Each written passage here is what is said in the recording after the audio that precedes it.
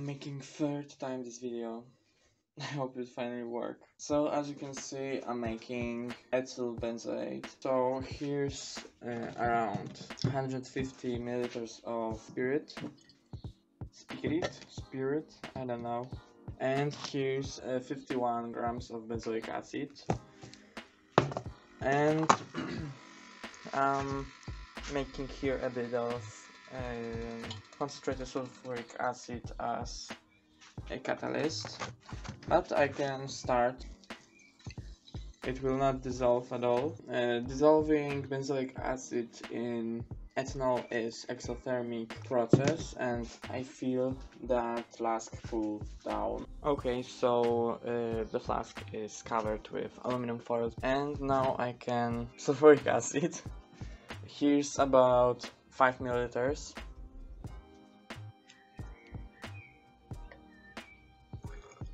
And now I can start reflux, but I have to montage reflux apparatus. And now, I don't know, I let it heat for 6 hours. Um, okay, so after around 6 hours of reflux, and now I'm distilling off the acids of ethanol. I know that uh, this column is uh, not for distillation, but I don't have different. Here I'm trying to play with uh, lower pressures, so ethanol boils faster and better.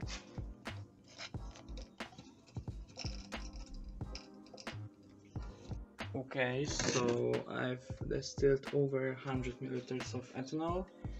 Uh, to this value I have to add um, I don't know 15 20 milliliters uh, which is trapped uh, all over here.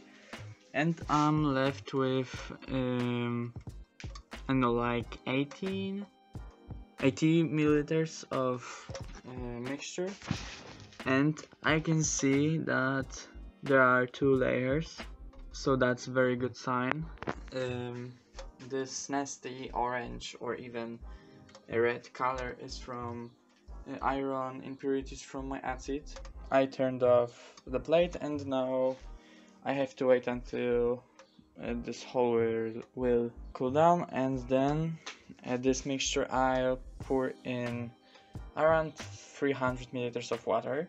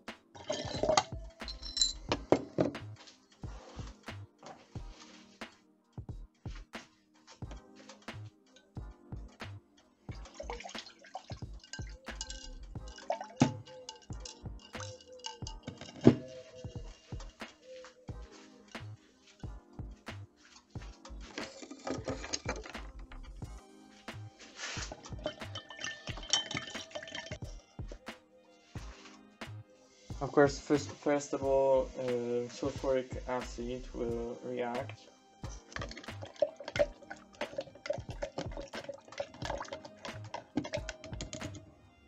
Okay, I have to say that it looks nice. Um, this brown color, as I said, is from comes from iron impurities and I don't think I can do something with it. I mean distillation would be uh, answer but I think I don't need it. It looks like lava lamp. Mm-hmm. Pretty cool. Okay, I also added um, sodium carbonate to my previous run and I think it works well. Here will be, I don't know, 20 milliliters. So I poured um, solution into aspiration funnel and now I'm waiting so uh, the bottom layer of ester will form now it's bottom layer uh, not the top one but because this water from beaker uh, had sodium carbonate in it so density of, of it was higher. Uh, but here I changed uh, the water on uh, pure on clean so now water is on the top. Okay so I finished um, extraction and finally I've got 20.44 grams of uh, my ethyl benzoate which means that my yield is about 32% that's extremely low I don't know where I made mistake. Um, thanks for watching and bye. Remember to subscribe my channel.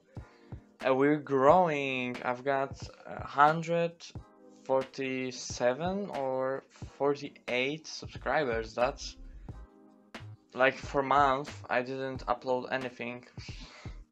So big thanks to everyone. Uh, but okay, thanks for watching. Watch other videos and bye.